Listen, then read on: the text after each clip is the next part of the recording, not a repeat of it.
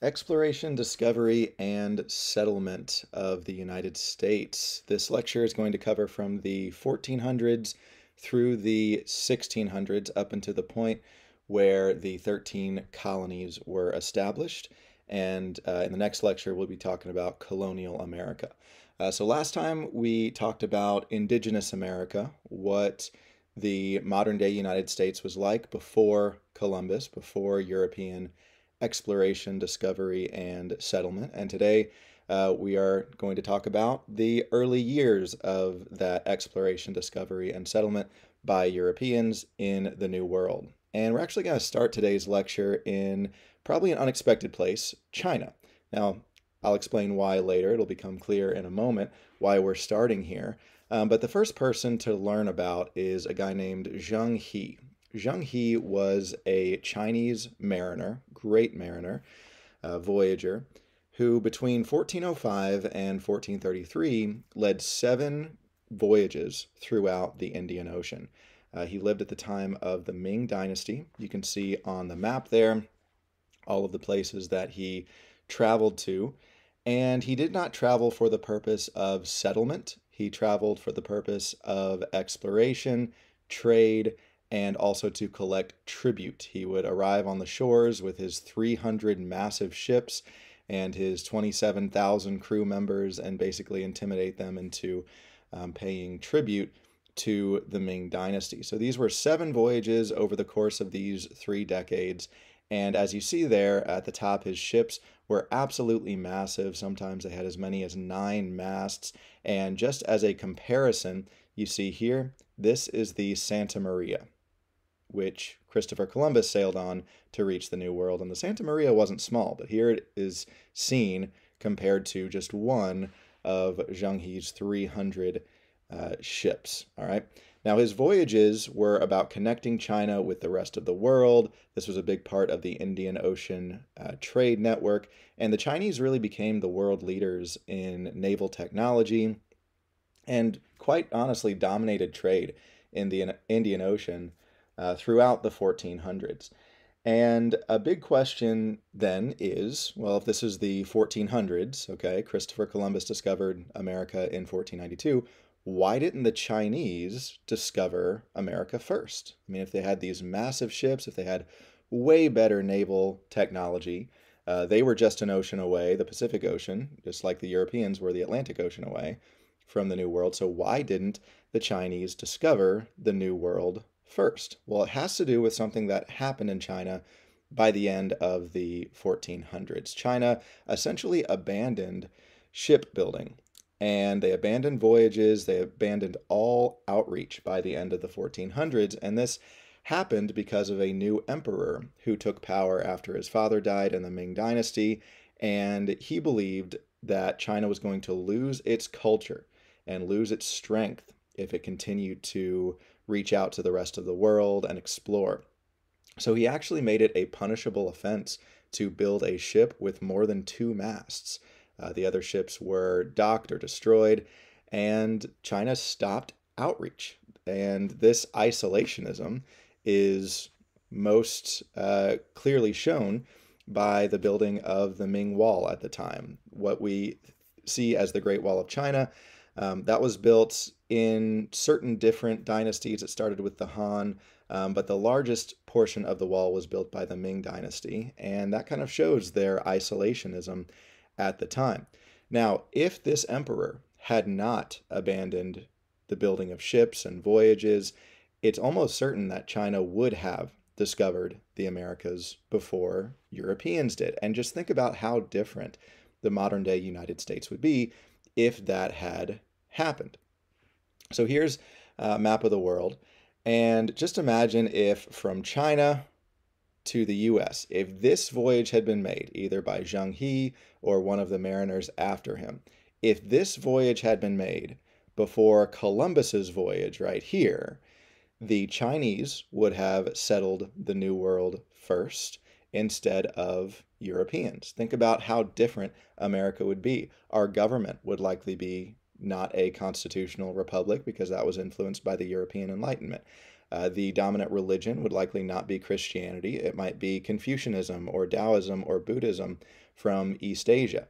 The languages we speak, our customs, would be entirely different if that one emperor uh, had continued the voyages and the Chinese had discovered America first. But that did not happen. Columbus was the first to make lasting contact between Afro Eurasia and the New World. So here's just a map of some of the big voyages that took place leading up to Columbus and then Columbus's voyages himself. So first we see the Silk Road here in the blue. This is the Silk Road that connected China with the Mediterranean region. Um, that was very much in use uh, still at this time uh, although it was starting to decline now that the Mongols had declined. And in this region right here, as we'll talk about in uh, the next page, the Europeans were, uh, it was dangerous for Europeans to sail here, let's say, because you had two great empires, the Ottoman Empire, which was right here, they very much dominated Indian Ocean trade, and in the early 1400s, you had the Chinese dominating Indian Ocean trade until they abandoned the building of ships. So you had the Chinese dominating the Indian Ocean, and then you had the Ottomans dominating the Indian Ocean in the late 1400s. And so this was uh, a difficult place for Europeans to sail. So why did they even want to sail there? Well, they wanted to trade with China, and traditionally they would go across the Silk Road right here. But by this point, the Ottoman Empire, which was right here, had essentially dominated and uh, monopolized trade along the Silk Road, and they only allowed countries they were allied with in Europe to trade along this route. And the only country they were allied with at the time was Italy. So Italy had a very robust uh, trading system. They traded a lot with the Ottomans and were able to trade all the way to China and back. Uh, for example, Marco Polo was from Italy, and he was able to go from China uh, back to his his hometown of Venice. And uh, Italy is where the Renaissance started too, because it grew so wealthy from that trade. But what this meant is that the rest of Europe, France, Portugal, Spain, England, they were not able to trade with China anymore along the Silk Road. So they had to find a different route to China. So this is where the Portuguese starting with Prince Henry the Navigator, followed by um, Bartholomew Diaz and Vasco da Gama, they attempted to find a water route. So they sailed to the southern cape of Africa, the Cape of Good Hope, and sailed to India. Vasco da Gama sailed to India to be exact. Um, but like I said, it was fairly dangerous due to what's called the Omani European rivalry, with the Ottoman Turks who were plying the seas and trying to make them all their own. So it was Columbus who said, you know what, we know the earth is round. That was a common misconception. He knew the earth was round. Uh, and he said, so why don't we just sail west and we should hit Asia right around here? Now, even though he knew the earth was round, he thought it was a lot smaller than it was. He didn't realize how vast the oceans were between Europe and Asia. And he certainly didn't know that these were there were these two massive continents in uh, in the way. So just to recap what I just said, mid 1400s European maritime technology had improved to make lengthy ocean voyages possible uh, for really the first time. And more than anything, they wanted to trade with East Asia. East Asia had the largest population, they had the best technology, they had things like silk, which nobody else had. They had gunpowder, all sorts of very desirable trade goods uh, and luxury items that Europeans wanted. But, as we talked about, the Silk Road was no longer an option for most Europeans, and therefore they tried to get a different route, tried to find a different route to Asia, a maritime route, a water route. Most natural option was to go around the Cape of Africa uh, through the Indian Ocean. The first Portuguese um, leader to recognize the importance of seafaring was Prince Henry the Navigator. He started to fund seafaring expeditions, uh, one of the first European leaders to do that. Uh, Bartholomew Diaz was the first European to sail around the southern tip of Africa. Uh, he then returned home. And then following him, Vasco da Gama went all the way around Africa and all the way to India. So that was a very big voyage, important voyage for European exploration. Um, but then, as I said, the Omani European rivalry developed, in which Ottoman ships would ply the Indian Ocean in an attempt to monopolize Indian Ocean trade, and it made it dangerous for Europeans to take this route to Asia. Then, an Italian man named Christopher Columbus had the idea to go west. So, who was Christopher Columbus? Well, he was an Italian explorer, and he wanted to find a more direct route and a safer route, honestly, from Europe to Asia than going around the southern Cape of Africa, through the Indian Ocean and the Straits of Malacca. So, he and his crew did know that the earth was round um, Columbus just thought it was much smaller and believed that there was just ocean between the western coast of Europe and the eastern coast of Asia. Of course, he was mistaken. Now, even though Christopher Columbus was Italian, the Italian leaders would not fund his expedition. And the reason why they wouldn't fund his expedition was because they saw it as completely unnecessary. Remember, the Italians had a great relationship with the Ottoman Empire, and therefore they could trade with China along the Silk Road. So they didn't need these expensive uh, explorations to discover new routes to Asia. They already had uh, a great gig going. So he asked the monarchs of Spain. Spain was one of the European countries that um, had very good naval technology, but they were not able to uh, use the Silk Road. So the monarchs of Spain, King Ferdinand and Queen Isabella, they agreed to fund Columbus's expedition. And they decided to do this for three reasons. They're known as the three G's glory, God, and gold. All right, uh, glory to bring glory to their empire and uh, make them competitive and relevant with their rivals, uh, and to also make them remembered by history, which clearly worked. Uh, two, God to um, to spread the gospel to nations that had not heard the gospel preached before, and uh, hopefully save their their souls. And then third would be gold to obtain riches from a new world, not just in trading, but also in acquiring, maybe mining gold. And those were all of the reasons why Ferdinand and Isabella uh, gave Columbus the funds and the needed ships to sail west across the Atlantic, hopefully to find another route to Asia. So Columbus set off on his voyage that no other European had uh, accomplished with three ships the Nina, the Pinta, and the Santa Maria. He had to uh, combat um, mutinies on his route because at some point they were going for so long Remember, he thought that they would reach Asia around here, but they didn't, and it was just more and more sea. And their crew members thought that they would basically be trapped there forever and and never be able to see home again. And around here, they ran out of uh, supplies for a return back, and he had to um, stop a mutiny. And then, right before they were forced to turn back, he reached land. Uh, 1492. Um, remember Columbus had very little technology to guide him. Yes, he had nice ships, but he also did not have, you know, what what mariners today or even centuries after him had. Um, he basically had uh, some inaccurate maps and a compass. And so he was a very skilled navigator to be able to discover such a land. As he sailed west, the first place that he landed was a Caribbean island named San Salvador, uh, right around here, uh, near the modern day Bahamas. Uh, no, he did not ever um, set foot in the modern day United States, um, but he did discover the Caribbean islands for Europeans.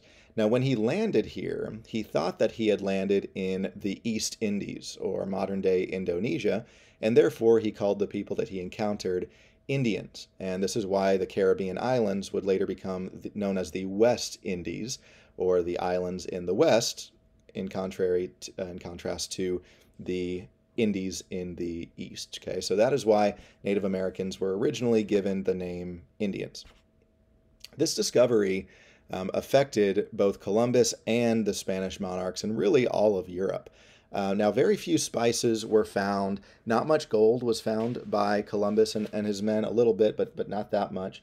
Um, so they were a bit disappointed. Conversion did occur, conversion of uh, Native Americans to Christianity.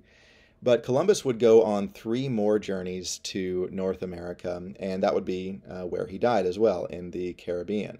He began to establish colonies there for the Spanish and other voyagers followed him.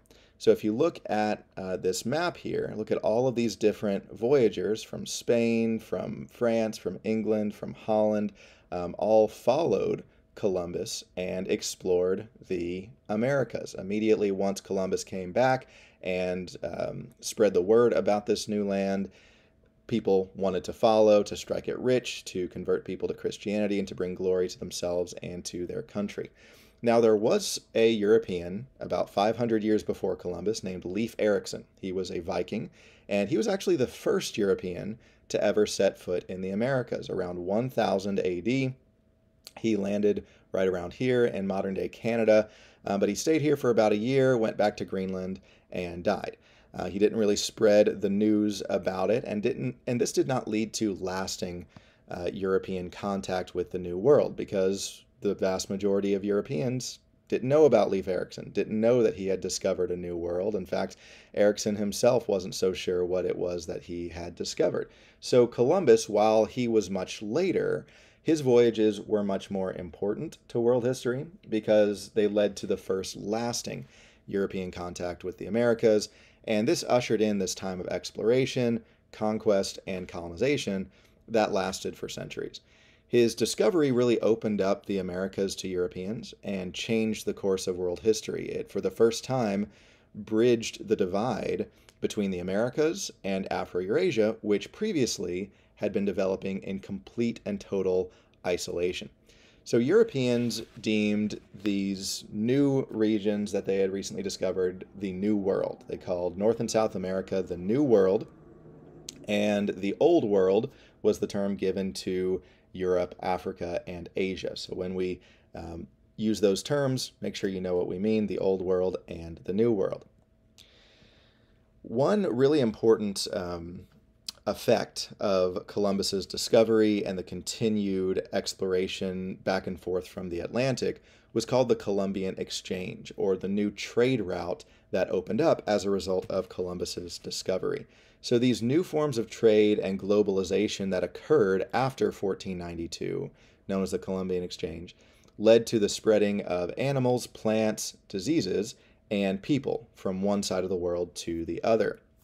So just to make this clear, um, before 1492, there were some plants and animals that had only existed, that only were around in the Americas, and that Europeans and Africans and Asians had never seen before. For example, uh, the pumpkin and the potato, the tomato, uh, corn. No European had ever heard of a potato before uh, discovering the New World. Similarly, there were a lot of um, plants and animals that only existed in the Old World that had never been seen by Native Americans before, such as bananas and cows uh, and sugar, uh, all of which became uh, very um, profitable industries in the New World once plantations started to be developed. Um, some more examples of new foods that Europeans brought to the Americas would be wheat and grapes, and this also coincides with the spreading of ideas to the New World, most importantly, Christianity. Um, still to this day, North and South America, Central America, and the Caribbean are still largely Christian, and that started with the Columbian Exchange bringing Christianity to uh, the New World. And wheat and grapes, those are both used to make the bread and the wine of Holy Communion. And so that is one way that um, Christianity traveled across the Atlantic. Uh, similarly, the New World introduced corn, beans, potatoes, tomatoes, avocados, uh, turkeys uh, to the New World, things that Europeans and um, Africans and Asians had never seen or heard of before. And they became staples of the diets over there. Um, for example, Ireland became known for their potatoes, but before 1492, no Irishman had ever seen or eaten a potato. Um, Italy became very well known for their tomatoes. If you ever go to an Italian restaurant, just count how many items on the restaurant have tomatoes in it. Well, before 1492, no Italian had ever seen a tomato. So the Columbian Exchange, one of the effects, one of the positive effects, was that it led to the spread of more food. It increased the world's food supply because a lot of these crops grew very well in the lands they were introduced to. and it decreased uh, hunger. It decreased world hunger, uh, permanently decreased starvation, in fact, um, because of all the new foods and the increase in food supply. However, on the more negative side, one thing that the Columbian Exchange did was exchange diseases. And I'm sure you guys know how immunity works. Um, your body develops antibodies that can fight off infections, but only after they have been exposed to that infection, only after they have been exposed to that germ. And if you've never been in contact with a, uh, a germ of a disease that to most people w- wouldn't really be that bad, it could kill you. And that's exactly what happened to the majority of the Native American population. Over 50% of the population, the native population in the Americas, died of diseases brought over by Europeans. Uh, the worst was smallpox. There was a massive smallpox epidemic that broke out once Native Americans came into contact with Europeans, even Europeans who were well meaning and didn't mean to, you know, spread these diseases. That is what happened. Um, no person in the Inca or Aztec Empire had ever been within a, a thousand miles of a smallpox germ, and now they are being uh, bombarded with them measles, mumps, other sorts of diseases, and this led to a decimation of the native population of the New World. Uh, it led to the end of the Inca and Aztec empires at the hands of Europeans because disease left them with a very small population, a weakened population, and much less equipped for battle. And also their leaders kept dying. And so the Spanish were able to fairly easily come in and conquer the Aztecs in Mexico and the Incas in Peru. Europeans and Africans uh, continued to repopulate the New World after this decimation of the Indian population. The uh, worst part, arguably the worst part of the Columbian Exchange was the slave trade, the Atlantic slave trade, where Europeans captured uh, Africans and brought them to the New World. And the reason why even the desire for this began was because when Europeans came to the New World, they were able to acquire land. Uh, they either shared land with Native Americans or took it from them. And these European plantations that started in the New World relied on cheap labor. That was the only way they were able to make a profit. And there were two types of cheap labor that were very common. The first one was indentured servitude. These were arrangements through which servants uh, contracted to work. They were contracted to work for a certain number of years either in exchange for passage to the New World or to pay off a debt to somebody. They would work for them as indentured servants, or maybe they were criminals and were granted freedom if they uh, moved to the New World. And you know, Scotland, the, the prisons were crowded anyway, so they, they were they were willing to send them to uh, to the Americas to work as indentured servants. Um, but one thing that was very different from indentured servitude was chattel slavery. Now, chattel slavery was a system in which individuals were considered to be property, to be bought and sold, literally just like cattle. That's where the term chattel uh, comes from. And indentured servitude was temporary, chattel slavery was permanent. Now, initially, Europeans relied on Native Americans and European indentured servants for labor. Native Americans would either be enslaved or would be contracted to work in exchange for uh, maybe land grants or protection from Europeans. However, both European indentured servants and Native Americans had very low life expectancies due to disease. So we already talked about how indigenous Americans had no immunity to diseases that Europeans brought from the New World, and so they kept dying off. Um, but also, European servants, mostly uh, from Scotland, Ireland, places like that, they had no immunity to malaria.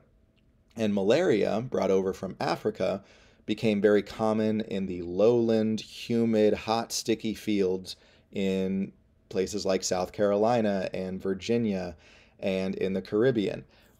So, these lowland fields where these European indentured servants lived um, they did not have immunity to malaria. The climate in Scotland is much different from the climate in sub Saharan Africa and the southern United States. It's not hot and humid, and therefore They had not been exposed to mosquitoes and malaria before. Therefore, they got bitten, had no antibodies, and they would often die too. So, Europeans looked to Africa for laborers who would live longer because West Africans had immunity both to malaria and to European diseases. Europeans and Africans had been in contact for thousands of years at this point, and um, malaria had been in Africa for thousands of years at this point as well. So African uh, immune systems were much more accustomed to both of these diseases. So even though African slaves were three times more expensive than Scottish servants, they would live much longer, and therefore economically, some Europeans thought that that was a good investment. So how did this happen? How did 10 million human beings get captured from their homes and then brought across the Atlantic Ocean to a place they've never seen before in order to be slaves for the rest of their lives. Completely a crime against humanity, a tragic injustice. But how did this even happen? Well, it started with the kingdoms in Africa itself. African kingdoms like the Asante Empire and the Kingdom of the Congo, which you see in that map of West Africa there, they took advantage of this European interest in slave labor. And they said, hey, we can profit off of this European desire to gain cheap labor. And so what they did is they would capture their own people or people of rival tribes, other Africans, and they would sell them to Europeans. European traders would set up trading posts along Africa's western coast here, and African civilizations would grow wealthy by agreeing to sell uh, either their own criminals, their own enslaved Africans, or um, people they captured in war or in slave raids, they would sell those human beings to European traders. Now, Europeans kind of rationalize this in their mind by saying, oh, we're just respecting the African system of slavery um, that was in place. And in that way, kind of justified these horrible actions. When in reality, both the Europeans were responsible for this because they were the ones who brought in the demand for slave labor, and the African leaders were responsible for this too. They both bear moral responsibility for the millions of lives that they utterly ruined through the transatlantic slave trade. So when African leaders along the coasts um, realized they could economically benefit, they would invade neighboring societies in this quest to bring slaves back to the coast and wait for European ships. So cap- captive Africans, they were swept away from their families, they were taken into holding pens on the West African coast known as barracoons or slave castles. And these points of no return were the places where countless Africans saw their homeland for the last time. They would then be in these pens, these barracoons, for weeks at a time. Then, when a European ship came into port, the Africans and the European traders would haggle about a price so many barrels of rum for so many African slaves, or so much tobacco, so many firearms for a hundred slaves, something like that. And then they would be brought onto the boat. Um, they would be crammed into the dank cargo sections of these slave ships. And as you see on the aerial view there of what a slave ship looked like, they would be packed in like sardines. The average slave had had just four square feet of space. They were literally shoulder to shoulder, sometimes chest to back, like on their sides, almost as if they were spoons. And four square feet of space, guys, that's less than a coffin. I mean, unless you were a very, very small person, like a child, and yes, sometimes children were taken, um, you would be incredibly cramped the entire time you were there. Um, there were many attempted rebellions at sea, most were unsuccessful. Some Africans jumped overboard to die uh, during this grueling journey across the Atlantic called the Middle Passage.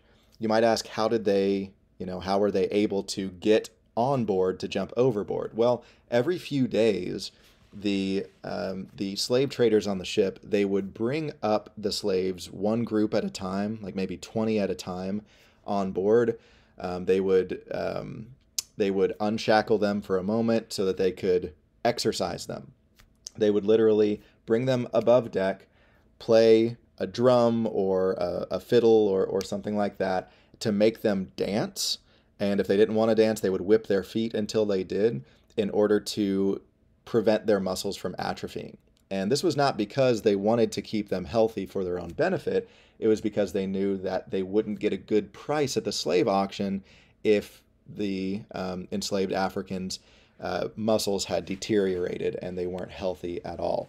Uh, nonetheless, many, many people died on this uh, horrific journey. I mean, if you could just imagine the smell down there, um, there were no restrooms. Okay, they didn't, they weren't allowed to go above deck and go in a bucket and and and you know uh, shove it overboard. They just went. They were chained together.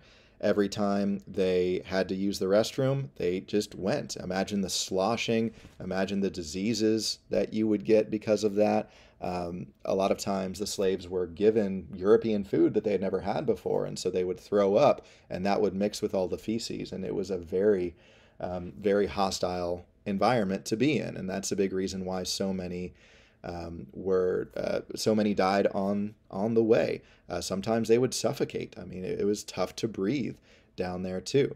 And over the course of the 300 years that this Middle Passage took place, um, with so many different slave ships coming in, about 10% of all the slaves, 10 to 15% of all the slaves died even before they got to the New World. So this was all a part of what was called the triangular trade. So this was the middle leg, uh, the middle passage uh, of the triangular trade. So European factured goods like firearms would be shipped to um, would be shipped to Africa, and then um, from Africa, slaves would come to the Americas, and from the Americas, you get tobacco or sugar or something uh, traveling to Europe, and then it would keep going in this triangle that was very profitable for the people running it, but like I said, ruined tens of millions of lives on the way.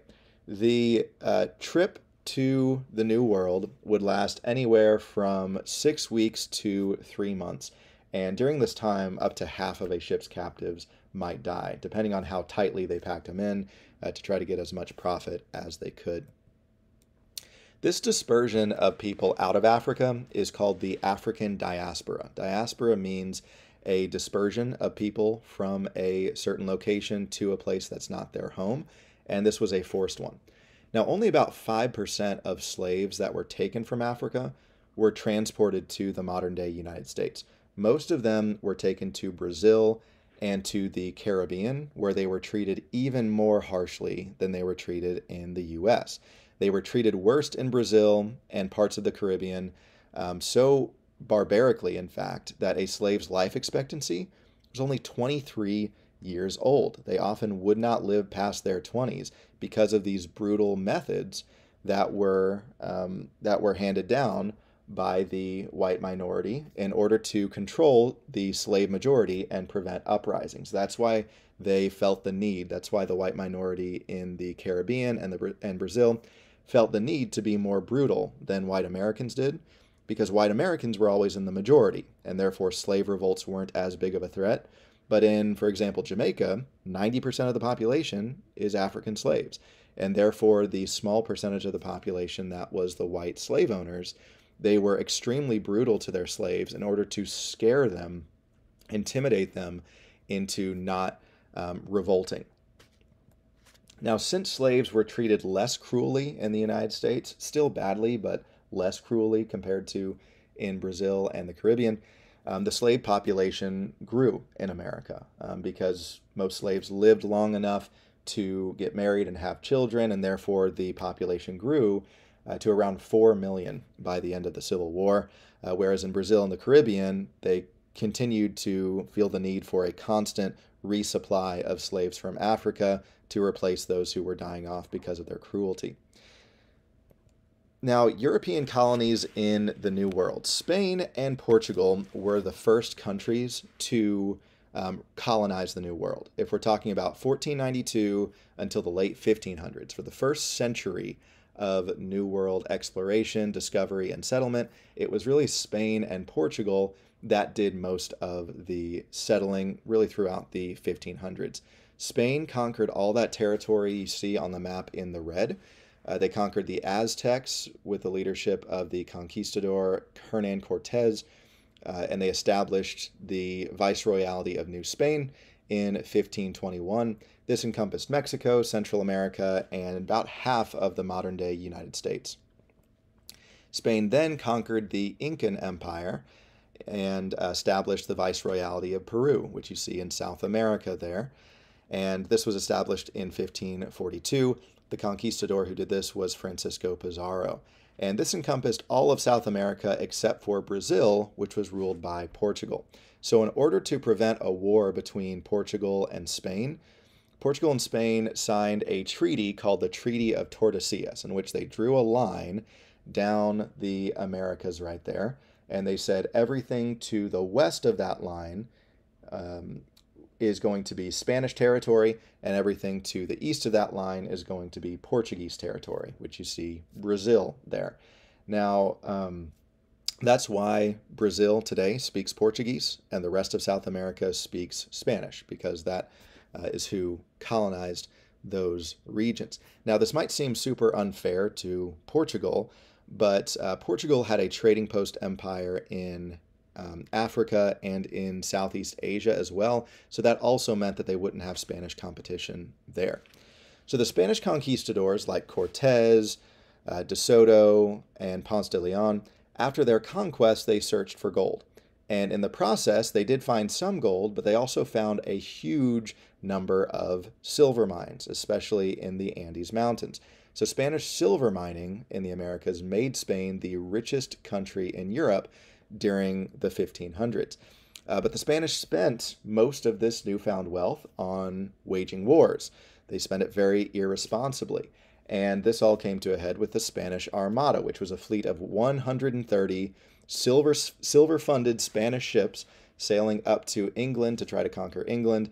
And uh, England conquered them. They they um, defeated them in battle, I should say, and two thirds of these ships sunk to the bottom of the ocean, and with it, Spain's wealth dwindled by the end of the 1500s, and England kind of replaced Spain as one of the uh, dominant countries in the New World coming into the 1600s. So, 16th, uh, 1600s, England and France really started to challenge Spain and Portugal in the New World. Uh, France, encouraged by King Louis XIV, the Sun King, um, th- they explored North America and claimed the land that they discovered, um, which you see in the pink there, as New France. England's first successful colony was Jamestown, Virginia. This was in 1607. Um, a second was established in Plymouth, Massachusetts in 1620, and then Massachusetts Bay Colony was established in 1630. And this area became known as New England. So, Jamestown in particular. In 1497, an English explorer named John Cabot explored the east coast of North America for England. And he came back and reported what he found. But England was not very powerful or rich at the time. They lacked the funds, they lacked the technology to settle or trade in the New World. Then, by 1588, England had conquered the Spanish Armada. They had become a major naval power. They had become much more formidable on the world stage, and so they had the ability to sail across the ocean and settle. Also, in this period, England's population was rapidly growing and putting stress on its economy, which was becoming very depressed. So, this led to a lot of peasants being willing to risk the voyage across the ocean in order to gain riches and land that they weren't allowed to gain in England, but might be able to in the New World. Then in 1607, King James I chartered the Virginia Company, named after the Virgin Queen, uh, Queen Elizabeth I, who came right before him. She was called that because she never got married or had kids. Uh, the Virginia Company was a joint stock company that was formed to finance the first English settlement in North America. Uh, the first settlers of Jamestown uh, suffered Indian attacks, famine, disease, nearly wiped out the entire colony. Um, the Powhatan Indians, in particular, um, were very brutal to the English settlers at Jamestown, killed off about three quarters of the population, and uh, some believe that they w- wouldn't even survive the winter. Um, but then, through the forceful leadership of Captain John Smith and the establishment of a tobacco industry by Englishman John Rolfe and his Native American wife, Pocahontas, uh, Jamestown was able to survive and grow into the prosperous royal colony of Virginia. Now, while settlers at Jamestown migrated mostly for economic reasons, a group of uh, religious people named Puritans, they set sail in order to gain religious freedom from the Church of England, which they believed had become too Catholic and too impure. So Puritans were called that because they were strict moralists. They wanted to purify the Church of England from Catholic influences. Now, they were very much persecuted by King James I, and that's why they wanted to leave. Uh, one group of Puritans called separatists wanted to leave Spain in search of religious, sorry, not leave Spain, leave England in search of religious uh, liberty. And these pilgrims, called pilgrims because a pilgrimage is a religious journey, these pilgrims first went to Holland or the Netherlands, but they were met with cultural and economic hardships. So they said a better bet would be to set sail for Virginia, for the New World. So in 1620, a hundred pilgrims set sail for Virginia aboard the Mayflower. The captain was Miles Standish, and the governor of the future Plymouth colony was William Bradford. This was a two month voyage. It was very stormy, very tumultuous, and because of that, the ship arrived not in Virginia, but a few hundred miles north of Virginia off the coast of Massachusetts. But instead of setting sail again, the pilgrims decided simply to settle there and establish the new colony of Plymouth. Now, about half of the pilgrims died during the first winter. It was a very brutal winter. Uh, many of them uh, did not survive. Uh, but then in the spring, Native Americans came into contact with the Europeans. They showed them how to farm, they showed them how to survive. Uh, this was mostly uh, Native Americans from the Wampanoag tribe. The great chief Massasoit was in charge. Um, one Indian who first came into contact with the pilgrim, pilgrims was named Samoset, and he introduced them to Squanto, a Native American who actually spoke English and could communicate with the Europeans. The reason he spoke English was because at one point in his life he traveled to Europe, uh, converted to Christianity, learned the language, and then came back to the New World. Really incredible story Squanto has. But what all this led to was the first harvest in 1621, which led to the first Thanksgiving, in which the uh, Wampanoag Indians and the Pilgrims uh, dined together and gave thanks to God uh, for the harvest that they now had, which they didn't have the previous year. So the Plymouth colony, their economy was very much based on fishing, um, trapping furs, and cutting down lumber. After James I died in England, uh, Charles, his son, became the king and actually increased persecution of Puritans. This is one thing that led to the English Civil War, uh, which led to his beheading. But in 1629, King Charles I, wanting to get rid of the Puritans in his country, he granted them a royal charter to leave England for the New World under the Massachusetts Bay Company. So in 1630, about 1,000 Puritans, led by John Winthrop, they sailed for the Massachusetts shore landed just north of the Plymouth colony and established the Massachusetts Bay Colony. They founded the city of Boston and several other towns that are still around today. Now, during the English Civil War, which was in the 1640s and 50s, King Charles I died. Uh, there was a lot of violence. It was a dangerous time to be in England. And because of that, 15,000 English people fled England and settled in the Massachusetts Bay Colony. So, this is what the map of North America looked like uh, circa 1700 or so. Uh, now, one thing I would like to mention here is the fact that this is kind of a European fantasy. Um, because as you see, there are no Native American tribal borders on here, uh, but these were the, the lands claimed by the British, the French, and the Spanish. So the last thing we're going to talk about is the relations between um, the Europeans and the Indians. So starting with the Spanish. Spanish-Indian relations were overall very, very bad. In the American territories conquered and occupied by Spain, millions of Indians died as a result both of the conquistadors' methods of war as well as efforts at ens enslavement, and mostly, as we talked about, through European diseases that the Indians had no immunity against. Spain incorporated the conquered native peoples of South and Central America into a highly organized empire. Uh, because few families from Spain came to settle in the empire, it was mostly an economic venture for the Spanish. Because of that, explorers and Spanish adventurers intermarried with Indians as well as with Africans, and this is largely where we get uh, the ethnic group called Hispanics or Latinos today. The Spanish, in order to maintain their um, their supposed superiority among the native population, created out of thin air this rigid social hierarchy called the casta system. And they developed this entirely based on race, in which uh, a group called Peninsulares, which were those who were born on the Iberian Peninsula in Spain or Portugal, but moved to the New World, they were at the top. Then Creoles or Criollos, who were whites who were born in the Americas, they were next. Beneath them were people of mixed race, um, called mestizos, who were um, half white, half Native American, mulattoes, who were half white, half black, and then zambos, who were half black, half Native American, um, were there, followed by Native Americans, followed by, at the bottom, black Africans. Again, totally made up, but this was the way that the Spanish were able to consolidate power. French Indian relations were much better. Um, unlike the Spaniards, the French maintained relatively good relations with Indian tribes who occupied New France, the St. Lawrence Valley and the Great Lakes region and the Mississippi River Valley.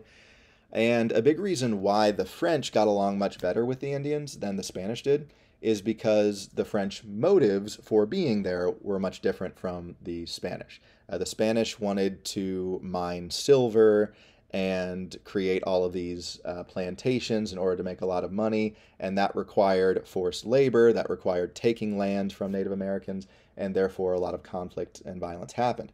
But the French didn't want to do that so much. They wanted to explore the land, they wanted to profit from the land, but not by farming or mining, which would have required taking the land. They wanted to make money by hunting and trapping uh, animals to uh, get their furs. For example, uh, example, beaver pelts became one of the major uh, industries, the fur trade, that the French um, engaged in. And because of this, the French were able to share the land with Indians and had a much better relationship with them. In fact, French soldiers even assisted the Huron people, which is an Indian tribe, in fighting their traditional enemy, the Iroquois, which was another group of, of six Indian tribes. French traders built trading posts along the St. Lawrence River Valley, um, the Great Lakes, and the Mississippi River, where they exchanged French goods, which um, the Indians had never seen before and, and they wanted. They traded those for Indian furs. And because the French had few colonists, few farms, few towns, they didn't really pose much of a threat to the Indians, and so they largely got along with the Indians. And then finally, English Indian relations.